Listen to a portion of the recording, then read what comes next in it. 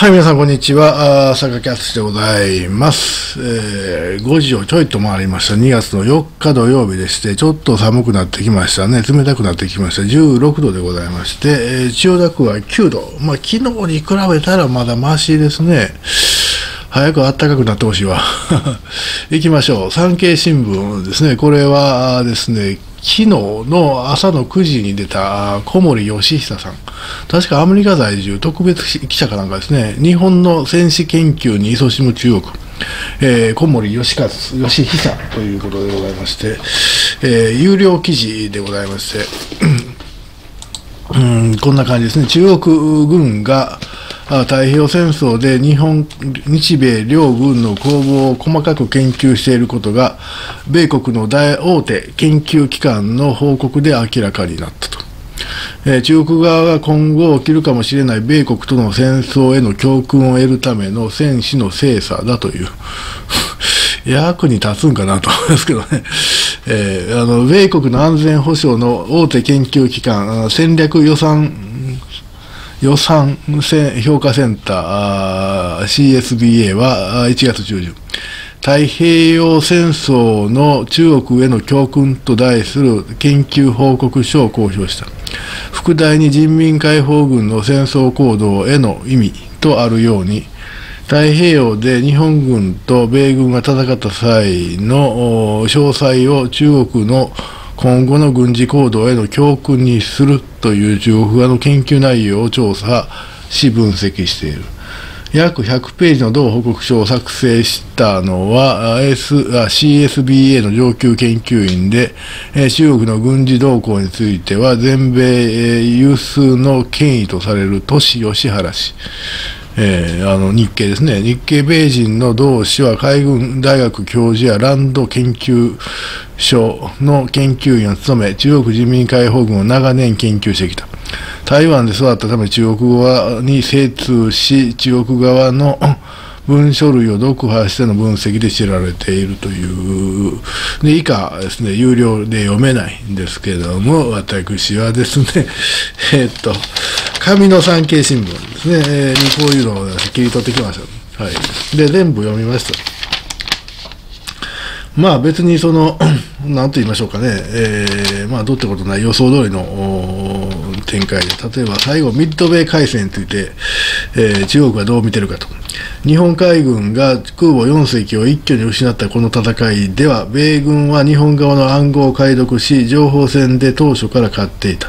日本側は情報戦偵察、あ情報戦偵察が弱かった。空母よりもなお戦艦の威力を過信していた。さらに日本側には真珠湾攻撃や東南アジアでの勝利での地震過剰があったと。まああとガダルカナルとかですね、沖縄戦についてのですね、記事が、あの、分析が出ていますけども、あのー中国がですね、対アメリカのですね、をですね、本格的に意識し始めたということですね。で、えー、今までですね、アメリカ海軍がですね、あの、アメリカと中国ともし、どんちゃんやるんであればですね、海軍の戦い、海軍と空軍の戦いになりますけども、今今までアメリカ海軍とがっつり四つに戦ったのはですね、日本海軍旧帝国海軍ですね、えー、しかありません。えー、あの大西洋ではちょろちょろやってますけど、主に ドイツの U ボートとの戦いであって、海軍同士がですね、大砲を撃ち合って、あるいは飛行機で攻撃し合ってという戦いはないんですね。なんで、あのやっぱり日米のあのですね80年前に戦われたあの戦いがですね、えー、約80年前ね、えー、3年、4年近くにわたって戦われた4年と3年と8ヶ月ですかが参考になると、それ以外に参考になるのがないということですね。それ以降、アメリカ海軍はですね、どことも戦っていないんですね。まあ、小さな紛争に参加したというのはありますけどもですね、どことも戦っていない。えー、海軍同士としてはね。で、えー、中国はそれを研究していると。あのまあ、だからいつかやるかもわからんということですね、台湾に出ていくとですねあの中国海軍とアメリカ海軍の戦いになると思いますけども、それしかしね、昔の日本との、ね、戦い方をねあの研究したところでね、大して役に立たんと思うんですよね。今はもう全く様相が違いますから、あの時はですね日本側がレーダーを持っていなかったんですね。えー、ミッドウェイの時は向こうもレーダー使ってなかったかな。マリアナ沖海戦の時には完全に向こうはレーダー使ってて、こっちはレーダーがなかったんですね。まあ、それはいいんですけど、あのー、あんまり参考にならんと思うんですね。でも武器が格段に進化をしています。えー、あのー、あの頃はですね、空からですね、えー、爆弾なり魚雷なりを落としてですね、空母に当てて、その空母を撃沈すると。いうやり方であったんですけど、今はですね、空母にとって一番の脅威は潜水艦なんですよ。潜水艦。潜水艦から撃たれるですね、えー えー、艦対艦ミサイル、あるいは魚雷、一番怖いのは魚雷だと僕は思いますけどね、えー、魚雷であって、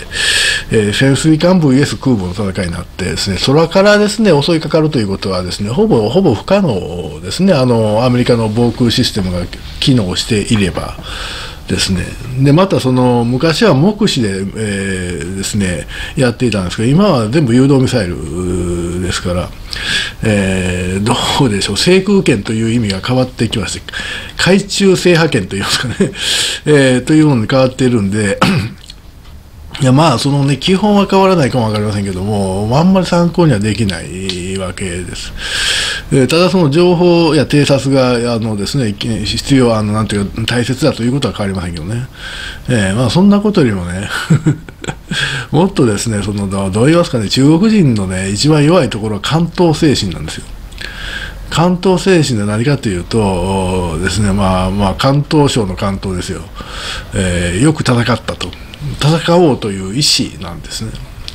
で日本海軍には猛烈な関東精神があるわけですね。えー、海戦匹敵なんていう言葉もあります。えー、敵を見たらですね自分が弱かろうがね向こうが強かろうがな関係ない行くぞ って行くわけですよ。えー、そういうねかんあのなんて関東精神というものがですね中国軍というものが弱いんですね。ただ中国人っていうのはですね昔の日本帝国海軍に対してすごい憧れがあるんです。それはね、もう間違いないところです。なぜアメリカと四つに組んで戦ったわけですからね。あのその昔、中国の有名なあの軍人に林彪なんていう人がいまして、あのこの方はですねあの国境内戦を制するに大いに功績のあった方なんですけどかなり地位が高くてですね、えー、毛沢東が文化大革命をやらかした時にですね、えー、っとあれを引きずり下ろしてですねそのえー、2番目に自分の後継者に据えたのが林彪だったと言われてます。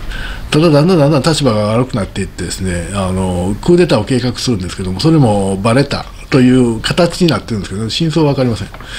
そのクーデターを計画したのが林彪の息子でしてですね、もう名前忘れましたけど、その林彪の息子はですね、あの自分たちのグループを作って、それを連合艦隊と言ってたんですよ。なぜかというと、アメリカと四つに戦った連合艦隊かっこええやんと。同じ東アジア人やしということで。えー、そう言ってたぐらいにですね彼は連合艦隊のこと大好きで研究してたそうでございます。日本から文章とあの 本を取り寄せて読み漁っていたという話もあります。ちなみに中国人って日本語読めるんですよ。漢字を拾ってきゃいいわけですから。特に昔の本はね読めるんですね。まあいいんですけど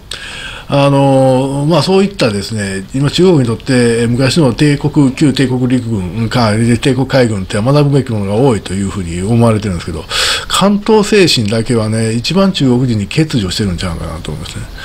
えー、あの彼らが関東精神を発揮したのは私が知る限り朝鮮戦争だけですね。えー、あの時は確かに見事にアメリカ軍を押し返したんですけどただ、どう言いましょうねあの時ってまだ国境内戦の記憶もですね目覚ましくて、目覚ましくというか、まあ、なんていうか、記憶も鮮やかでですね戦うということに関して躊躇がなかったんですね。であとやっぱしですねあの後ろからね特戦するんですよ、中国もロシアもそうですけど 要は逃げられへん状況になるんですね。だからどんどんどんどん行ってですね、もう多大な犠牲を払ってるんですね、朝鮮戦争では。それでアメリカ軍を押し返したという実績があって、あれぐらいですね。他はもう弱い弱い。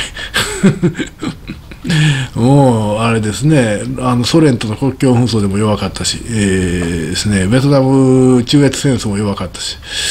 いや、だからね、弱いやつをいじめるのは得意ですよ。チベットとかウイグルとかね。そういうのは得意ですけど、対外戦争で中国がですね、華々しく勝利したっていうのはもうほとんどないんですよ。ほとんどない。だから中国海軍って今、船の数だけはいっぱい揃えてますけど、ななんて言いますかね、こう、訓練と違ってね、敵の弾もミサイルも飛んでくるような状況で、冷静に判断してですね、自分たちの能力を発揮できるかっていうと、私はそこは疑いますね。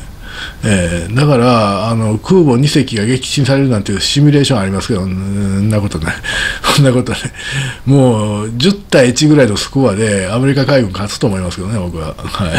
だから昔の研究するよりも どう言いますかね、関東精神を養うためにですね、どう言いますかね、いろんなこうそっちを鍛えた方がええんちゃうかと。えー、つまり訓練、訓練、訓練ですね、えー、できることであれば。